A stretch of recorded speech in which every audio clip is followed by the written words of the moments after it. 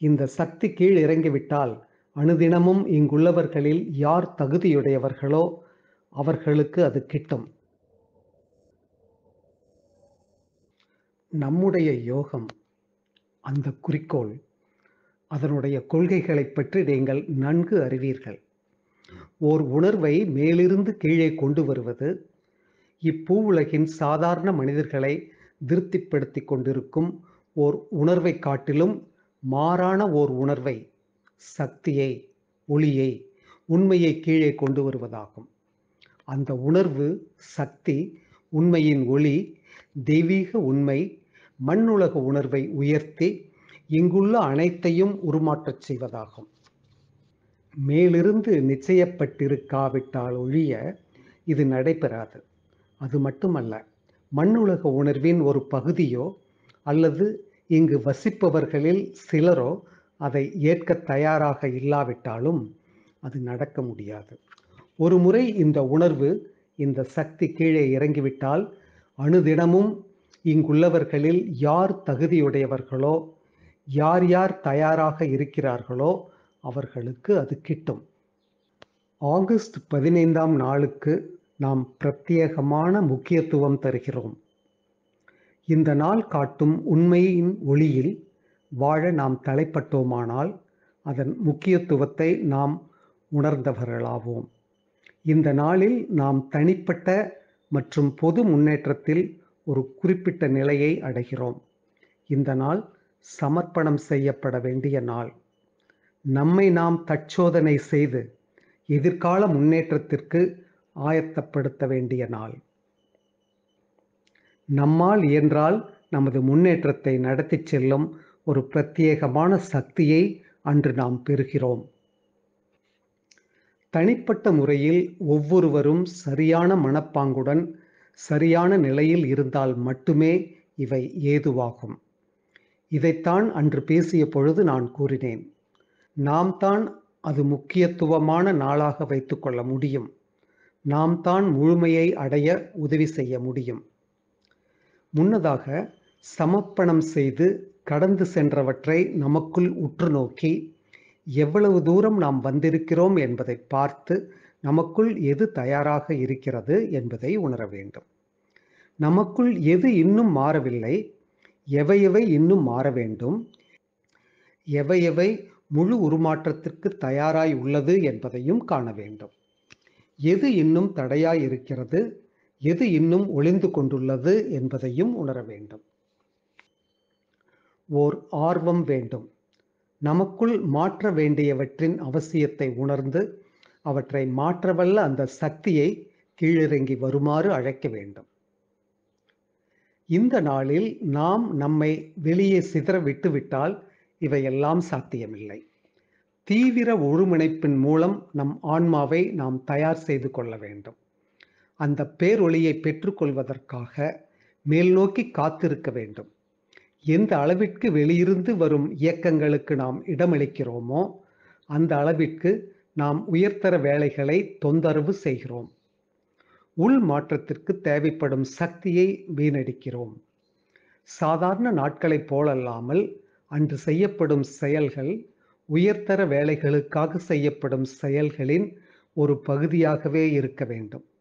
அல்லது வெளியோட்டமாக அவற்றை செய்துவிட்டு நம் உள் ஜீவன் அதனால் பாதிக்கப்படாமல் பார்த்து கொள்ள வேண்டும். எல்லா வழக்கமான சூழ்நிலைகளும் நமது முன்னேற்றத்திற்காகவே பயன்படுத்தப்பட வேண்டும். நீங்கள் காலையில் என்னிடம் வந்தீர்கள் அல்லவா? அது வழக்கமான ஒரு சடங்காக இல்லாமல் உங்களது ஆன்மாவும் மனமும் இங்கு கிடைப்பதை பெற்றுக்கொள்ள தயார்படுத்தப்பட்டிருக்க வேண்டும். என்னிடம் இப்பொழுது நீங்கள் கேட்டுக்கொண்டிருப்பவை உங்களது மனதை மட்டுமே தொடுவதானால் அவை உங்களது மனத்தேவைகளை மட்டுமே பூர்த்தி செய்வதானால் நான் பேசாமலேயே இருந்து விடுவேன். ஆனால் அவை உங்களது உள்ஜீவனை தொடுவதானால் இந்த நாள் முக்கியத்துவம் பெறுவதாகும். அதன் நோக்கத்தை நிறைவேற்றுவதாகும். முக்கியமானவை உள் இறங்காவிட்டாலும் உங்களுக்குள் இன்று ஏற்படும் ஒரு சலனம் பின்னால் அதன் பலன்களை தரும்படி நீங்கள் இன்று தியானம் செய்ய வேண்டும். நமது யோகத்தின் கண்ணோட்டத்தில் ஆகஸ்ட் பதினைந்தாம் நாளின் முக்கியத்துவம் இவ்வாறு ஓர் அர்த்தத்தை கொடுக்கிறது. வேலையை பற்றி நினைக்கும் பொழுது நீங்கள் எங்கே இருக்கிறீர்கள்? வேலை என்ன? அது எவ்வளவு தூரம் முன்னேறி உள்ளது என்பதை நினைக்கும் பொழுது சில விஷயங்களை நினைவில் கொள்ள வேண்டும். அவை உன் மனதிற்கு தெரியும்.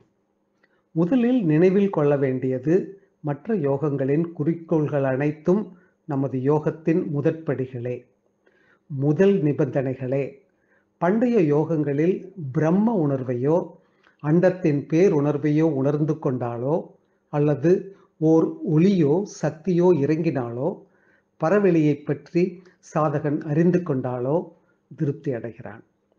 மனதிற்கு சில ஆன்மீக அனுபவங்கள் ஏற்பட்டாலும் மனத்தின் ஒரு பகுதி உருமாற்றம் அடைந்து பிராணன் அதனுடன் தொடர்பு கொண்டாலும் அதுவே போதுமானதாக கருதப்பட்டது. அவர்கள் ஓர் அசைவற்ற நிலையை தேடினார்கள். விடுதலையே அவர்களுடைய குறிக்கோளாகவும் இறுதி இலக்காகவும் இருந்தது.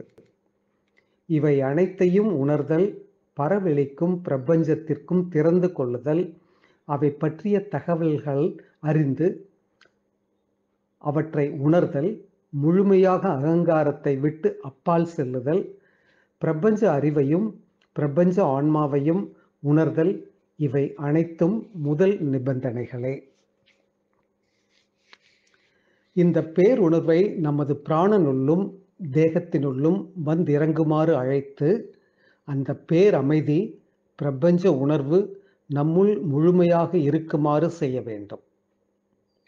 இது செய்யப்படாவிட்டால் உருமாற்றத்தின் முதல் நிபந்தனை பூர்த்தி செய்யப்பட்டிருக்க மாட்டாது. இரண்டாவதாக நாம் அறிந்து கொள்ள வேண்டியது அனைத்தும் முழுமையாக செய்யப்படாவிட்டால் எதுவுமே முழுமையாக செய்யப்படவில்லை என்பதுதான். மனதையும் பிராணனையும் பேருணர்வுக்கு திறந்து பௌதீகத்தை அதனுடைய இருளிலேயே தெளிவில்லாமல் விட்டுவிட்டால் ஏதும் பயனில்லை. எனவே உருமாற்றத்திலும் பிராணசக்தி உருமாற்றப்படாவிட்டால் மனத்தை உருமாற்றம் செய்ய முடியாது. பிராணசக்தி உருமாற்றம் அடையாவிட்டால் எதையுமே உணர முடியாது. ஏனெனில் பிராணமயம் தான் உணர வேண்டும். மனத்தின் ஒரு பகுதி மாறி பிராணமயம் திறக்கப்பட்டு ஒரு பகுதி மாறி இருப்பினும் நமது வேலைக்கு அது போதாது. பௌதீகமும் திறக்கப்பட்டு மாற்றமடையாவிட்டால் பிராணமயமும் முழுமையாக மாற்றமடைய முடியாது. ஏனெனில் இறைமையின் பிராணன் பொருத்தமற்ற சூழ்நிலையில் தன்னை உணர முடியாது.